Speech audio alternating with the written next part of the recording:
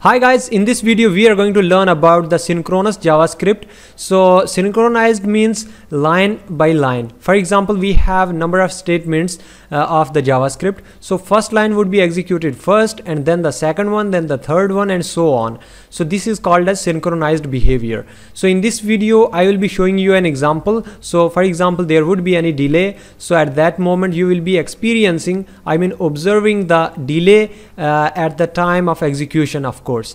So let me start with the example. So for example I have two functions here. Function slow task. Then after I have another function name fast task. And inside of each of the function I'm going to write here the console.log so this is slow task. And again I have another function which is fast task function. So inside of console log I'm gonna write here fast task. So to make it uh, to do the execution I need to call the function. So for example I am calling here the slow task then the fast task. And for example at the first time I'm gonna write here fast task then slow task then fast task and then at the end I'm gonna write here slow task alright so let's see the execution here. So I'm gonna refresh the browser and you can see that fast task then the slow task fast task slow task. So you can see that uh, one after the other is going to be executed. For example we have the fast task function uh, firstly called so because of which this statement uh, is going to be executed first. And then after we called the slow task function so the inside of the slow task function we had console.log slow task. So that's why we got the console value slow task. So in the same way again fast task and again uh, slow task. So let me make you more clear over here. For example before uh, executing this console.log slow task I wanted to uh, make create a delay. So for example I have a variable now equals to date I'm gonna create a date object. So that will be returning the time current time. So what does it mean? New means we are going to create an object of date class and here we have a function get time which is helping us to give the current time value in the now variable. So whatever would be the assigned in the now variable that would be the current time value. All right. So i'm gonna write here a while loop and inside of it I am again going to initialize a date object dot get time. So what does it mean? It means that again I am writing here the current time value. I am getting current time value.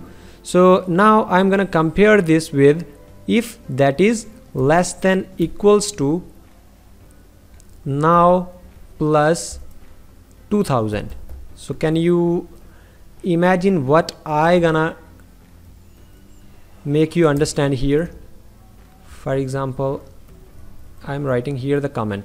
So this while loop is helping us to create a delay. So how for example we have just executed this line and because of which we got the uh, current time value for example 4 o'clock 4 p.m. and 0 second. So again we are going to create another object here. This will be of course giving 4 o'clock. And now we are comparing with this value so you can see that in the now we have the 4 o'clock plus 2 seconds. To, so to 2000 millisecond means 2 seconds. So we are uh, this time is less than the now plus 2000 because this is 2 seconds uh, ahead.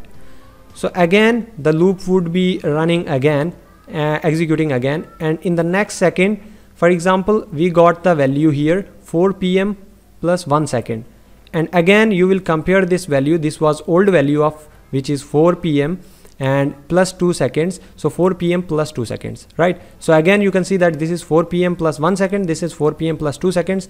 So again the loop would be continued because the condition is true. So in the third time for example the second get increased and the value become 4 pm plus 2 seconds and which is less than equal to 4 pm plus 2 seconds which was older value.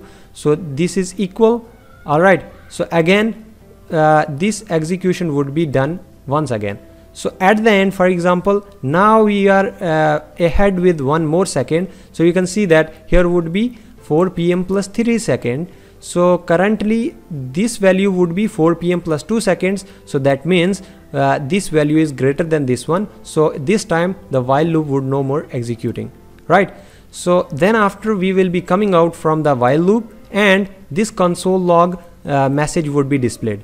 So what we learned here is that this while loop is just helping us to delay for 2 seconds. I mean this would be continuing looping until we are reaching uh, to the 2 seconds uh, with the current time. All right. So let's see the execution now. So for example i'm going to refresh this. So you can see that fast task has been executed then after slow task after two seconds then fast task then slow task. So you might experiencing the delay of the execution. Let me refresh it once again. So just see fast task then after two seconds we are getting slow task then fast task executed immediately and then slow task executed after two seconds so this was let me refresh it once again. So just experience. All right so this was the delay. And you can also see that fast task is uh, going to be executed first then slow task. Of course there is a delay but still slow task is executing. Then after uh, once this is completing then after that uh, fast task would be executed and then again fast task uh, slow task would be executed. So of course we are end up with the uh, synchronous behavior of the javascript. So i think you got the basic understanding that how we are uh, we are just learning about the synchronous behavior of the javascript. So synchronous means line by line. For example we have one line one that would be executed then after we will be coming to the next line and then after to the next line. So according to the execution each line would be executed uh, in its own turn. All right so this is called as synchronization of the javascript. So in the next video we will be learning about the asynchronous behavior of the javascript. That is also an important. And i will i will be giving you a brief example which would be really really easy to uh, understand. So i have also explained a lot of concepts of the javascript with uh, some examples and I have also created some games and uh, small apps which you can uh, actually uh, scale up to the higher projects. So i think if you haven't uh, watched those videos i am just adding the link in, in the description so you can explore the whole playlist of the uh, videos which i have uploaded till now. So let's meet in the next video. So uh, thank you so much for watching this video. See you in the next video